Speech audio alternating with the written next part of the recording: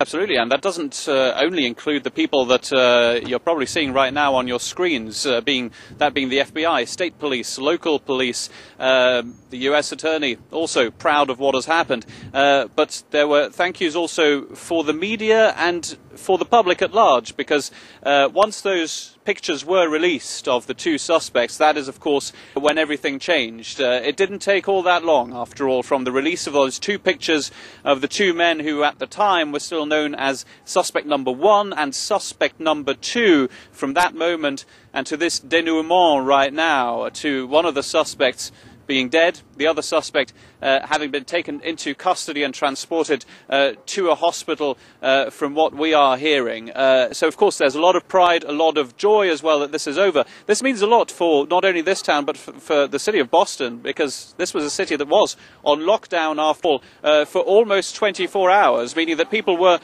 told, recommended uh, that they should not uh, leave their houses and should not really be walking the streets because of a, a dangerous man at large uh, who is now no longer at large. There's a lot of uh, relief here in this community and in the whole city right now.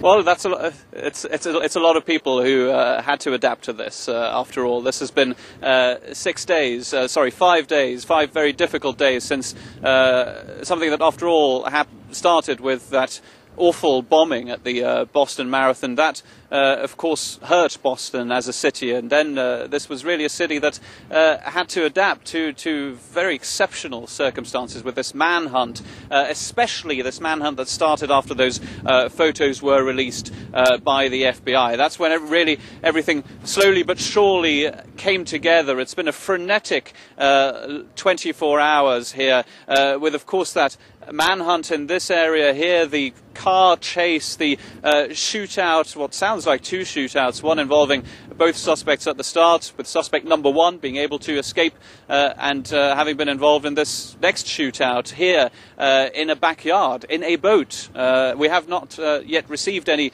information on the exact details of how this actually happened, of how he was apprehended in the end so close to where the police had earlier said they had largely failed in finding this suspect. After all, uh, he was very he was very close to being caught, and that didn't work out. Now, though, the story is over.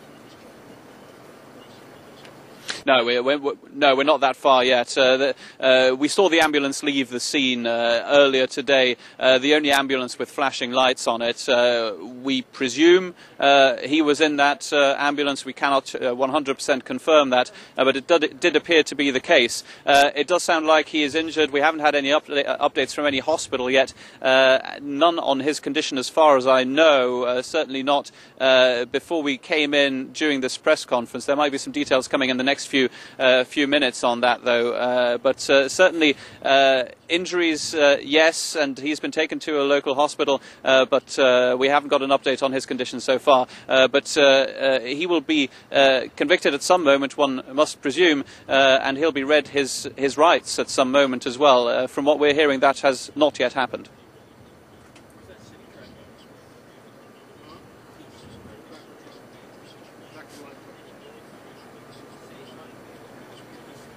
Well, I think there'll be a, a sense of relief, uh, certainly. I'm not sure about uh, loud partying here because it's been such a short time uh, since the, the awful twin bombing at the marathon, after all. But there's big relief here, and uh, we'll have a look and uh, see if there's a, a party in downtown Boston.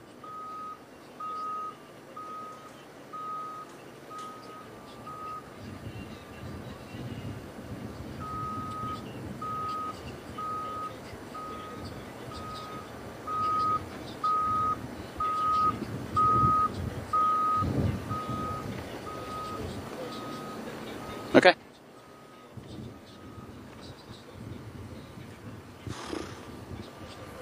What a silly idea to, to go like live during a press conference. Still, still there, yeah.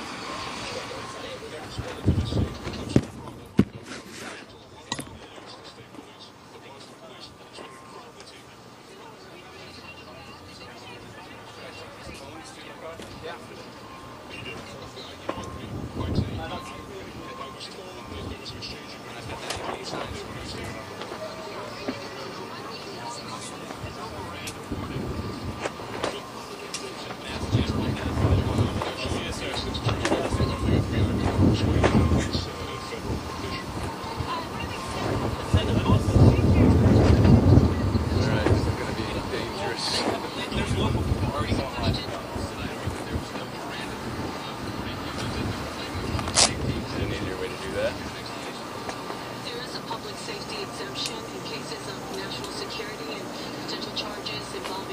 terrorism.